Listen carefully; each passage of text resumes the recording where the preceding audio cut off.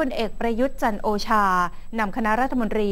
เดินทางนมัสการ ผู้ปฏิบัติหน้าที่สมเด็จพระสังฆราช สมเด็จพระมหาราชมังคลาจารย์ที่พุทธมณฑล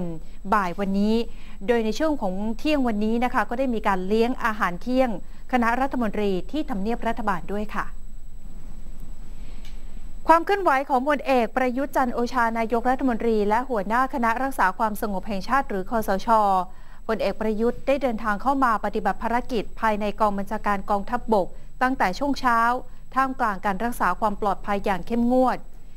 ก่อนที่ในช่วงเที่ยงจะเดินทางเข้ามายังทำเนียบรัฐบาล เพื่อรับประทานอาหารกลางวันร่วมกับคณะรัฐมนตรี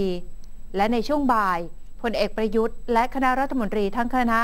จะเดินทางไปกราบนมัสการ สมเด็จพระมหาราชมังคลาจารย์ ผู้ปฏิบัติหน้าที่สมเด็จพระสังฆราช เจ้าอาวาสวัดปากน้ำภาษีเจริญ พระอารามหลวง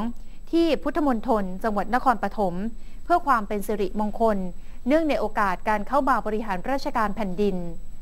สำหรับบรรยากาศที่ทำเนียบรัฐบาล บริษัทผู้รับเหมาจากเอกชน ยังคงมีการลงมือบุรณะซ่อมแซมอาคารสถานที่ โดยเฉพาะตึกบัญชาการหนึ่งซึ่งเป็นตึกที่นั่งทำงานของรองนายกรัฐมนตรี และรัฐมนตรีประจำสำนักนายกรัฐมนตรี ที่เหลือเพียงเก็บรายละเอียดเล็กน้อย ขณะที่ตึกบัญชาการสองซึ่งจะเป็นตึกปฏิบัติการของเจ้าหน้าที่ ยังคงมีการเร่งปรับปรุงในหลายจุดที่ยังไม่แล้วเสร็จ ทั้งภายในและภายนอก โดยตึกไทยกู้ฟ้าแม้ว่าจะปรับปรุง 100%แล้ว แต่พลเอกประยุทธ์ก็ไม่ได้เข้ามานั่งทำงานแต่อย่างใดอย่างไรก็ตามในเวลา 9 นาฬิกา 9 นาทีของวันนี้นะคะ หม่อมราชวงศ์ปริดิยาธรเทวกุล รองนายกรัฐมนตรีได้เข้ามานั่งทำงานในห้องทำงาน บนชั้น 4 ตึกบัญชาการหนึ่งรวมทั้งเวลา 10 นาฬิกา 10 นาที นายยงยุทธยุทธวงศ์รองนายกรัฐมนตรี ได้นั่งรถประจำตำแหน่งขึ้นไปเทียบจอดหน้าตึกไทยคู่ฟ้า